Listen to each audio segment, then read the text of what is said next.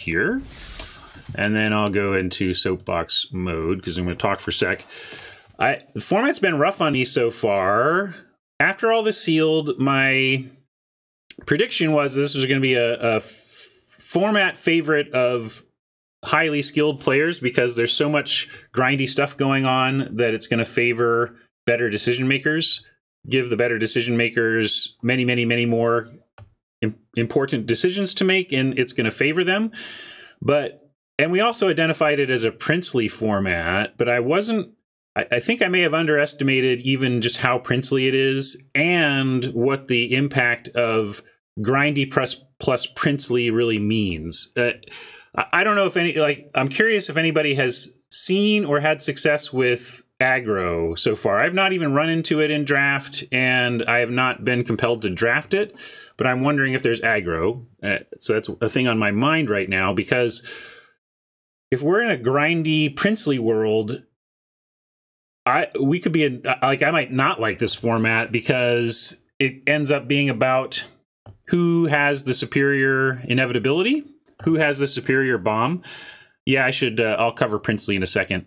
Um, so if it's about making it to your bombs and then having your bombs be better than than the other players, that's really going to take a lot of the advantage that the skilled players have if it becomes if it comes down to getting to resolving and winning with a bomb. Um, so to get to uh, uh, Brian David Marshall, BDM, was a guest on Limited Resources many years ago and introduced the concept to me, at least, of uh, what he called the the defining formats, identifying formats as a pauper format or a prince format, where a pauper format is about high synergy between commons and uncommons. And of course, gonna, every set is going to have impactful rares and mythics, but can can you imagine a deck in a format that only has commons and uncommons being really good. Like it, and if you can describe a format where you're like, oh yeah, I could totally make a busted deck out of commons and uncommons, it's probably a, a more of a pauper format because the synergy at low low rarity is where it's about. Prince formats are ones where the going concern is the power level of your rares and mythics. And in this in this case in, in a, it's very princely. Dominaria was like this as well where it gets princely when rare power level drops down to uncommon as well which you have a lot in this set also. So if it's going to be a format about power level of cards and grinding out to them i got i got to buckle my seatbelt and be ready for the variants. I mean we've had some variants issues so far on the stream just as a matter of course, it's been we've had pretty rough mana luck so far, but that's neither here nor there. Like whatever we will that, but uh, I'm just trying to figure out what my current take on the format means about how we should approach our draft coming up here. Because if it is, it, you know, I, I, both want to see if there's an aggro deck that can control this. Because if you're in a world where the game goes long and you get to your bombs and the bombs decide it. One way to counter that is to just get underneath that with aggro and just aggro out the deck with the superior bombs and kill them dead before that stuff matters. But I haven't seen that yet. So uh, that's why I was asking about that. Anyway, that's what's been on my mind about the format. Um, is the combination of grindy, princely going to make uh, kind of more of a coin flippy format that we really have to uh, get ready beef up our variance tolerance to make it out with our sanity? Or uh, is there some aggro valves that we can pursue that give an alternate way to approach the format? So uh, that's where I'm thinking. That's what I'm thinking, and we'll take that to take those thoughts into the draft here. And hello, everybody. Hey, Queen. Also, uh, give a quick check on chat here since I was rambly. A little black red with some haste creatures, but nothing like RNA, says Turtle Power regarding aggro. Short West says always ended up siding out. My two drops for more power. Yeah.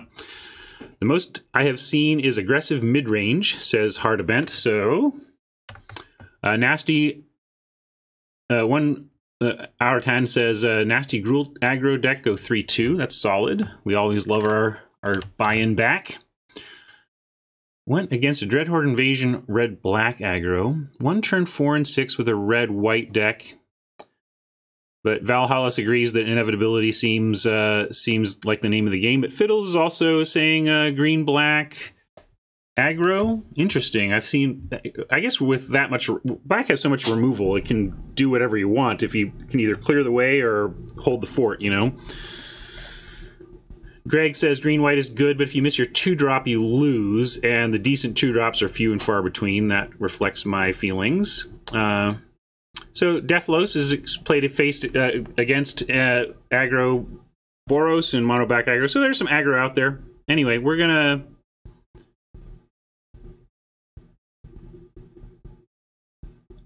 Yeah, Trollbinus says, I think that it's princely, but that there's an underlying issue of planeswalkers disrupting almost every heuristic that skilled limited players have.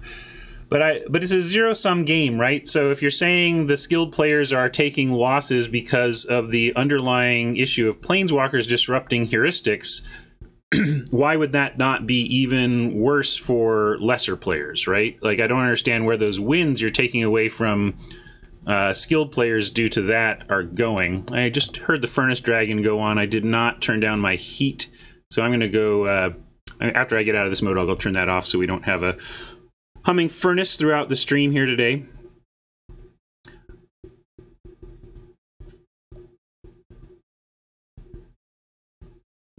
Uh, Double D's asks what this impact is on uh, uh, rare drafting. I think I have the opposite reaction. If this is about, if this format is all just about bomby rares and getting to them, then I think it's probably more prudent to rare draft heavily, right? That that that your uh, one pick here and there isn't going to affect your draft much at all. It's about who opened a lily or whatever, right? So if it's all about just who opened a huge thing, then I would say it'd be more prudent to to draft more heavily in favor of rares.